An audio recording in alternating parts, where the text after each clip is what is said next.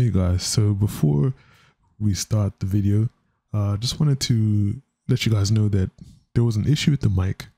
For whatever reason, uh, no audio was recorded for like the first half of the video. It was disconnected somehow. So we kind of missed everything from the start, from the start of the video all the way to the start of the descent. So I apologize in advance. You still have the last half of the video, so please enjoy the landing today in Luxor, Egypt. This is your boy FlyIslandGuy. Let's drop the intro.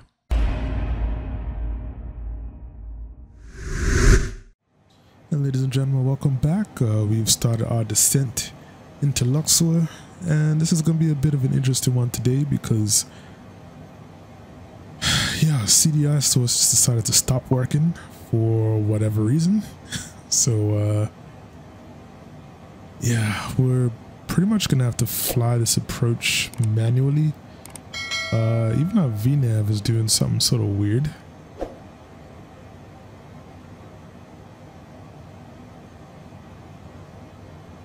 Yeah. Yeah, VNAV is, is uh, kind of doing something weird too, so uh, yeah, I'm not sure what's going on here. But anyway, let's have a quick discussion, quick, quick discussion about our approach for today. Uh, we are going to be doing the, uh, let me show you guys.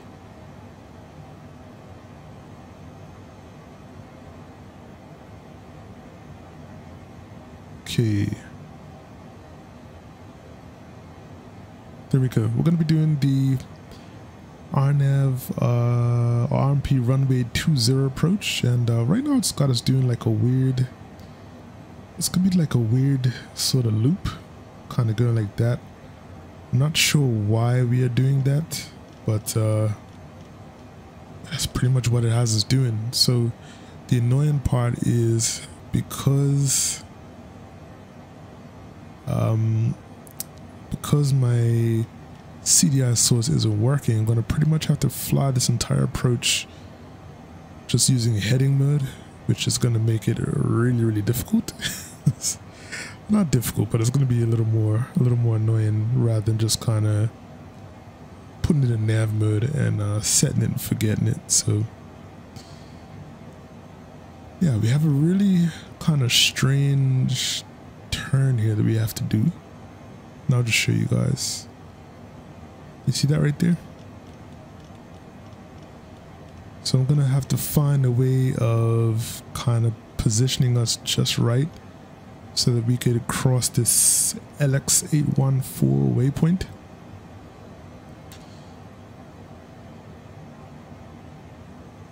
And I'm not really sure that's gonna happen. But uh, yeah, we're gonna find a way to land safely. we're gonna make this happen, you guys, alright? So we have crossed down well below 10,000 feet. We have our landing lights on. Gonna go ahead and uh, set the local altimeter. As you can see, weather here is absolutely beautiful again today. Uh, looks like the city of Luxor is off here to our left. And that's the, the, the Nile River, kind of right here. So it's actually good to see some greenery though. Happy about that. Because uh, I'm pretty sure I haven't seen any kind of greenery so far in this trip for... Ooh, it's been a minute. pretty much been all desert. Uh, but we are sl slowly making our way out of the Sahara. Uh, we're heading further south. Uh, so hopefully we're going to get some good views. But in the meantime, while we're here in Luxor, hopefully maybe we'll get some more uh, views of pyramids on the approach. I don't know. I don't know. Gotta set it 2,000 feet. And as you could see, we're just kind of using the uh, heading to make this turn. Uh, let's see if we can make it happen, folks. Airport should be off to our left. Can't really see it right now because we're a little far away. That is fine. Just sort of taking my time right now as we do this approach. I think 2,000 feet is our final altitude. Yes, so that's where we're heading to now. Alright, yeah, we're making the turn. Hitting 2,000 feet now, so we should start slowing down, which is good. We are very low, folks.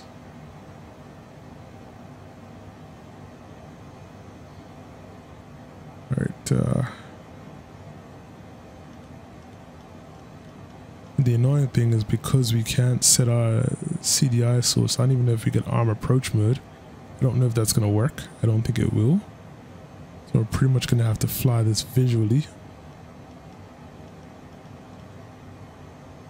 Which is fine though. Absolutely beautiful out here. Oh.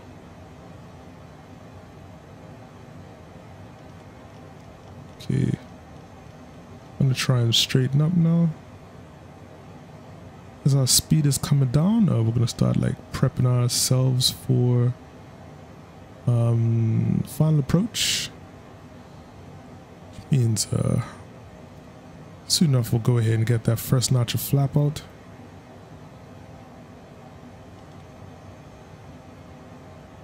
I'm just gonna. Okay, nah, yeah, approach mode's not working either.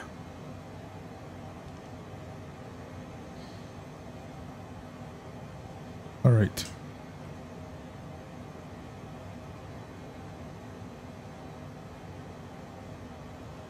Okay, airport is straight ahead. Uh, and we're going to be landing on uh, runway 20, as I mentioned before. So right now I'm just focusing on kind of getting us lined up.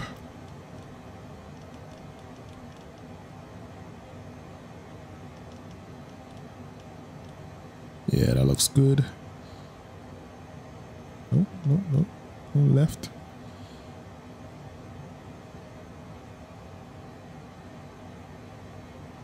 All right. So, uh, let's see. Gonna get our approach checklist. Fuel transfer is pushed out, uh, kind of off to the right a little bit, off to the left. Uh, we don't have to worry about the ILS frequency, passenger signs, uh, PD boats, and altimeters are set to local. Let's get our gear down. Oh, sorry, our flaps down. I'm gonna go flaps two. And gear down. Actually, at this point, I'm gonna go yaw damper off and uh, autopilot off as well. I'm just going to bring this in by hand.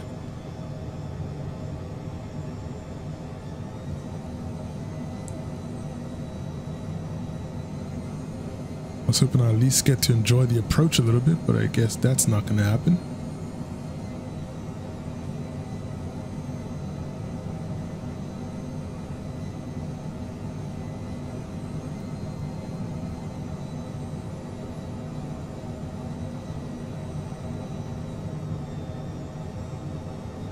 We actually don't really have anything to guide us right now.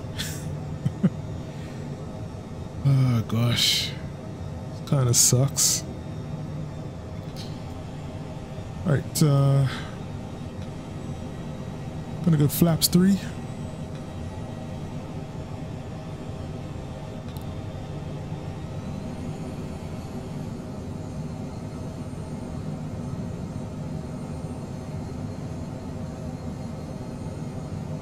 Let's look at our final approach or before landing checklist. Yaw damper is off. Uh, landing gear is down. Three green. Flaps are set to three. And airspeed is looking good.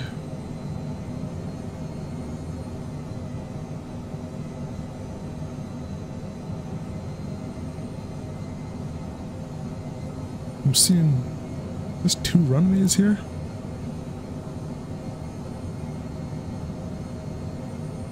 No, I think that's just a taxiway. It's just how it looks.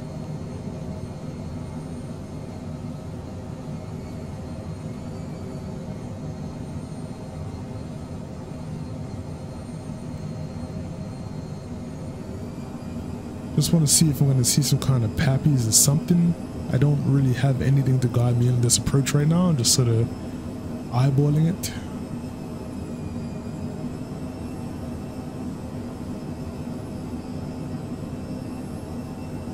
I wonder if now I should have chosen the ILS approach instead. Probably would have been the better option. But I said, no, the weather looks good. Let's just do the, uh, let's the RNP approach instead. I'm regretting it. Did see some stutters just now, which means uh, probably going to get some stutters in OBS. But I'm hoping this is going to be a smooth landing. We shall see. We're all set, folks. Uh, should be a smooth enough landing coming in. Looks like three reds, one white. No, two reds, two white.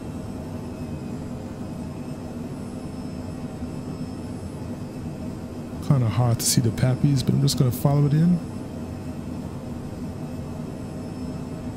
Looks like we're all good on two red, two white right now.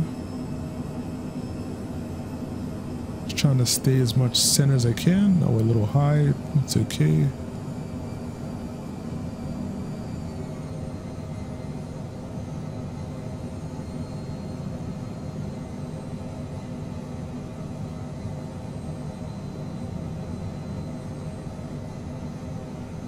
Try and get on center. Put the throttles. And just rest it down gently if we can. Landing time on. Beautiful. Just gonna get the nose down.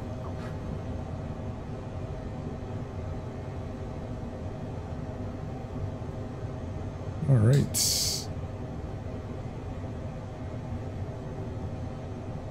Aircraft does not look like it wants to slow down. so I'm just gonna have to apply some manual braking just to get it to stop somewhat. I'm just gonna come to the end of the runway.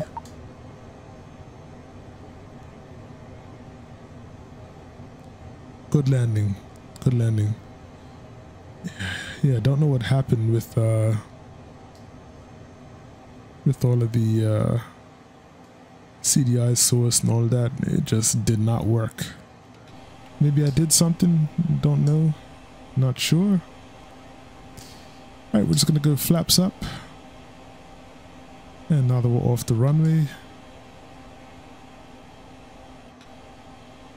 we can go taxi lights.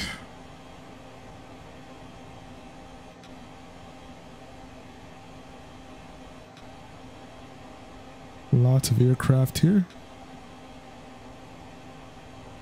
So local time is about uh, 7.54 in the morning. So uh, once we go and park, we're just going to get us a nice coffee and call it a day, folks.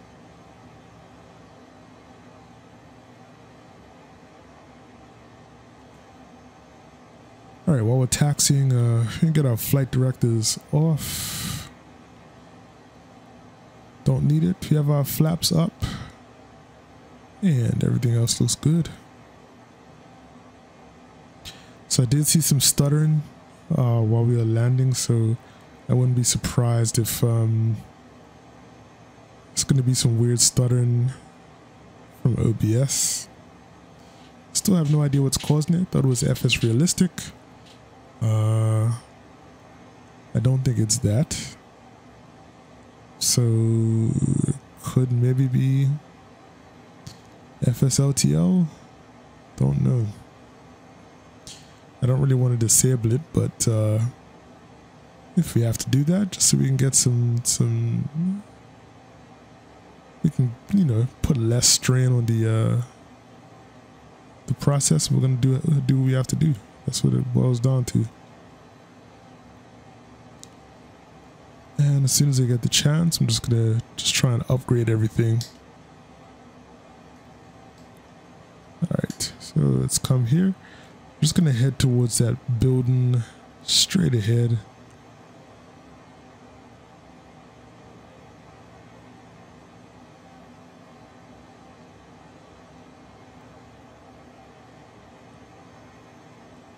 All right.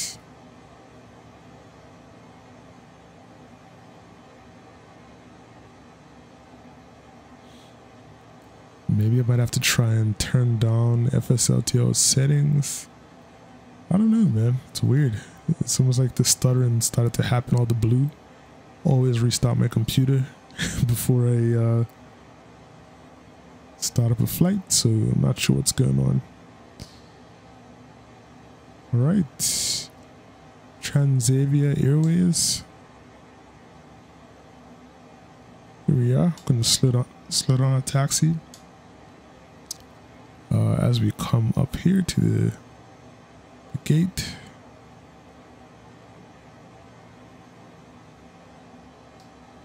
Alright. And that's it.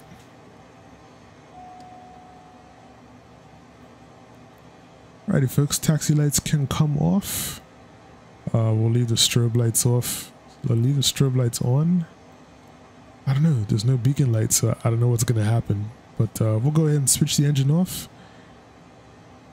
Let's get our GPU connected again. Uh, so we can shut off our generators when the engine comes off. Engine off time logged.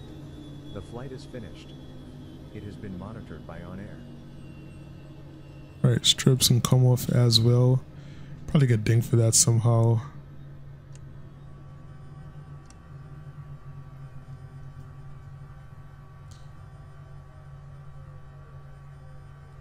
Alright, fuel pumps come off as well. And passenger signs will come off too. Alrighty, folks. So let's uh Got the door open.